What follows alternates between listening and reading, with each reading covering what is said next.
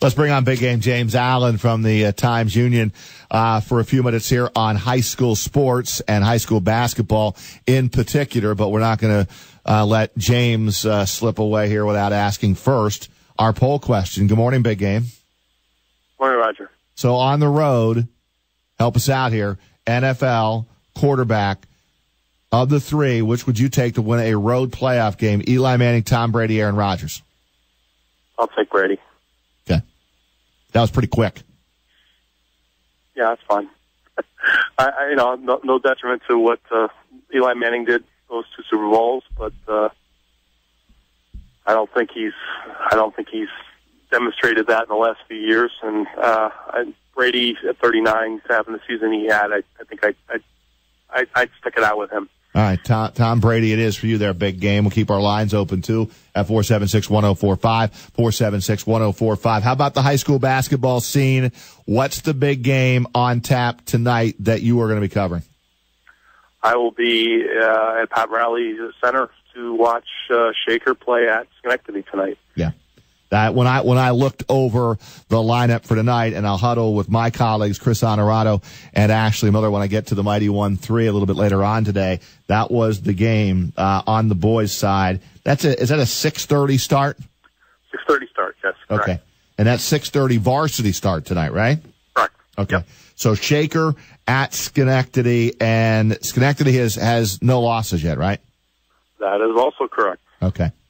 So break that down for me a little bit. Uh, two teams in a suburban council on the boys' side that is pretty much wide open. There are a lot of teams that can beat each other in the suburban. I really like the way this this uh, division uh, is shaping up this season.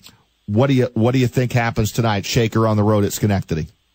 Well, you know, it's incumbent, it's incumbent on Shaker if they want to win on the road. They're going to have to limit the, the, the fast break opportunities that the Patriots get. Uh, they've been able to get out and run on a pretty regular basis, and uh, they lost their bet leading scorer to Green Tech, uh, Tobias Holmes, uh, who's not not with them anymore. But you know they've they've been able to to uh, weather it, and two guys have really kind of stepped up for them. Uh, both of them are six four, uh, John Rawls and uh, and Tyrone Jenkins, and they've been able to score pretty well, and uh, they've been able to balance their offense out. And Shaker's coming off a real nice stretch. They went out and uh, won a tournament uh, last week out at Fayetteville Manlius and won a, an incredible game against uh, Bishop Kearney, who's state ranked. Uh, they won a, a steal underneath the basket, under, underneath uh, Bishop Kearney's basket, and uh, Devin Mahoney hit a half court shot at the buzzer to win that game by three. And then they beat the, the host team, uh, Fayetteville Manlius, and they're really young. Shakers doesn't have a lot of experience. Uh, they got a lot of guys that are juniors and sophomores that are doing the damage. One of them being the junior Sloan Seymour and sophomore uh, Jay Cook has been playing really well, and they're going to have to use that size and, and their effectiveness in the half court to win this game. What makes Schenectady go, uh, and are you surprised that the Patriots are undefeated? Well, I, I'm I'm a little surprised. I mean, I thought they were going to be good this year, but you know, you again, you lose your your guy who's been your leading scorer the last couple of years. Um, you always kind of wonder how that's going to play, uh, how it's going to, you know, is it going to be any different? And you know, they've been able to get a lot of contributions from a lot of different players, and um, defensively, I think they're getting the job done too. If you look at some of their wins, I mean, they've been able to to uh, to get some big stops at, the key point, key times, and which is going to be a good test for them. And you know, it's interesting from the standpoint that Schenectady's you know eight zero, Rodger, but they've got not only this game, but they've got Shen coming up on Tuesday. So uh, we're going to find out a lot about them over the next two games. Wow, Shen and Schenectady on be, Tuesday. Uh, road for them. That ought to be a great matchup. I mean, look, Luke Hicks is he is really uh, he's he's taken over for that Shen team with Kevin Huerter now at Maryland, who was going to who was going to get the shots for Shen this year and score the points. I would say so far this season, Luke Hicks has stepped up and done a great job. Yeah, he's averaging 25, and uh, he's going to uh, you know certainly get his opportunities uh, in that game on on Tuesday as well.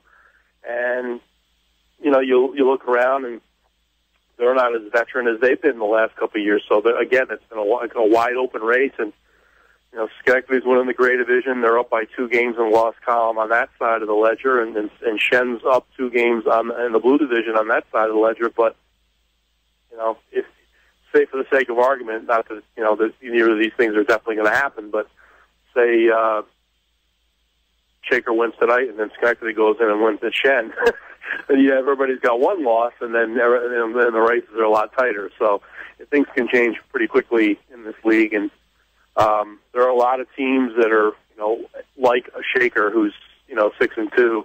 Um, there's a lot of teams like a Saratoga and we got a couple losses. Colony coming off a big win uh, recently against Green Tech after losing the Academy on the weekend, and there's a lot of dangerous teams out there, and things can change quickly in, in the in the league. And uh, you know, we're going to get a, a real uh, a, a real strong look at the landscape here over these next two games. And it's you know, say for the sake of argument, one of them does remain undefeated, uh, and then you know, you're going to have a little better idea who's going to win these divisions.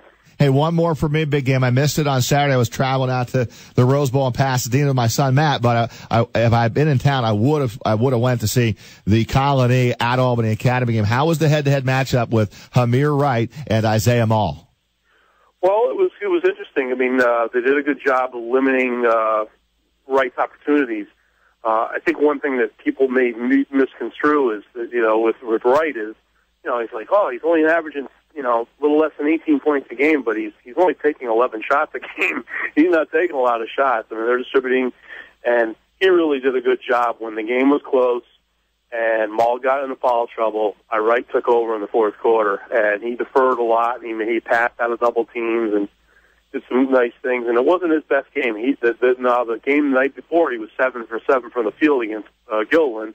He didn't have his best game shooting game, but when the game was up for grabs in the fourth quarter, he scored nine straight points, and he had a couple of assists in the fourth quarter, and had a couple of uh, real nice moves. He made a spin move on the, on the baseline and did a low post speed and, and dunking, and then he got out in transition on the two on one and got an alley oop for Will Bennett for for another slam. And you know, Mole had his moments too, but uh, he, he his offense kind of went away in the second half, and Academy ran some really, really good plays and got some really solid possessions in the half court uh, in the second half, and especially in the fourth quarter, to pull that game out.